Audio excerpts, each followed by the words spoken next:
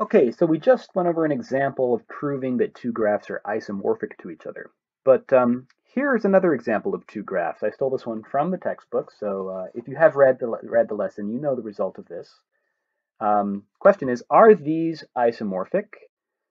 Well, uh, you can check some basic things like you can check uh, the degrees, right? Um, or the number of vertices.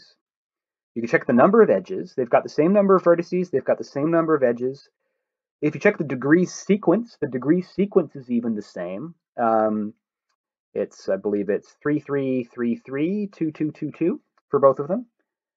Uh, and yet, if you try moving these things around and try kind of like trying to associate vertices in your head and figure out like, well, could we rearrange one of these into the other? Seems like you really can't. So these, in fact, are not isomorphic to each other. Okay, they're not isomorphic. But the question remains, well, how do you prove that two things are not isomorphic? Okay, well, to help us figure out, figure that out, it helps to look at um, to ask the question: when you apply an isomorphism, what properties are preserved? Under that isomorphism. Meaning, what properties does the original graph have that the new graph is also going to have? And vice versa. These are called graph invariants, properties that don't change uh, when you look at one, look at different graphs that are that are isomorphic to each other. So properties that don't change upon, like when an isomorphism function is applied. Some uh, basic ones that we've already identified are things like the number of vertices, right? If two graphs are going to be uh, isomorphic, there has to be this bijection between the vertex sets, and so they have to be the same size. So number of vertices. Likewise, number of edges, because we need the bijection to preserve adjacency, and we need the inverse function to preserve adjacency as well. So that means that the number of edges has to end up being the same both ways. Uh, and so like I was saying before, if the adjacencies are preserved under the function, the degree sequences of those graphs have to be the same as well. So the degree sequence is a graph invariant. But there's other graph invariants. So um, I'm going to introduce a couple of new things here. First is uh, the idea of a subgraph.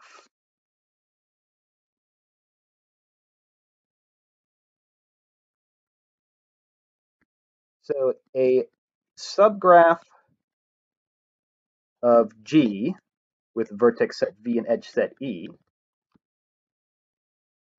is a graph, I'm just going to call it G prime with vertex set V prime and edge set E prime, where V prime is some subset of V. Okay, uh, I think it might be most accurate to say proper subset there. Uh, so uh, the G prime is a sub is going to be a subgraph of G, and it's going to have a vertex set, which is some subset of the vertex set of V. And E prime is also a subset of E, where in particular, E prime only includes edges between elements of V prime. So we're going to draw a little example down here of a subgraph. So first of all, let's just make a graph.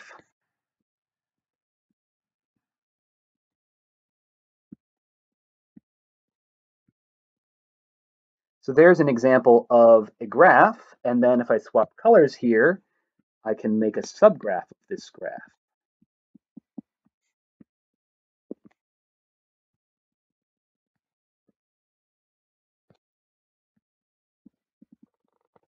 So there's an example of a subgraph. I've got G prime, my subgraph, in red there, whereas G, the original graph, was in uh, in black.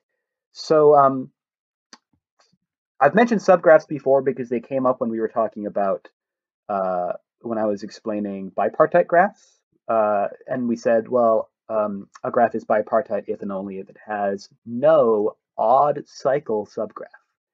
right? So um, this graph does have an odd cycle. You can see a little triangle over here, for example. Um, so yeah, so here's here's a more formal definition of what subgraph is. And subgraphs are an example of a graph invariant. Okay, if they're the same shape, basically, right, then they're going to have the same subgraphs. And in particular, uh, that means the existence and number of subgraphs of distinct distinct subgraphs of a given type.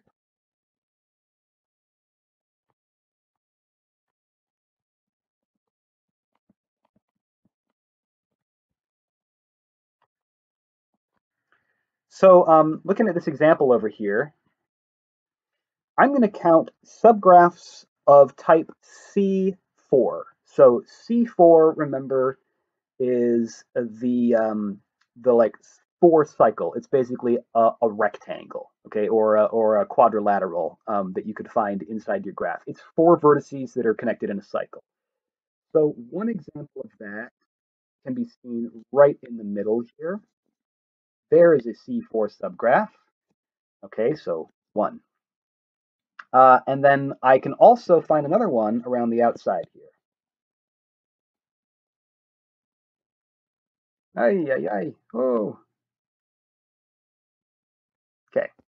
Two. Uh, can I find any other C4 subgraphs in this G1? Mm, no.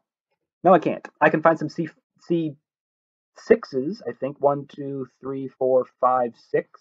Yeah, like if you look at sort of this funny shape around the outside here, it looks a little bit like a like a right angle measure. Um, that thing uh, is a C6, but I'm not thinking about those. I'm just counting C4s.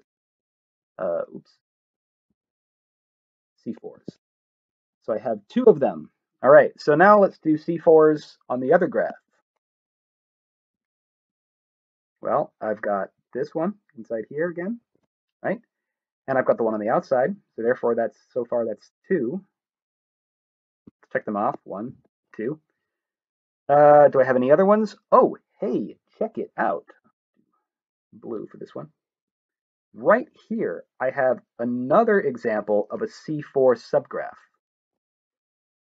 So, graph G1 has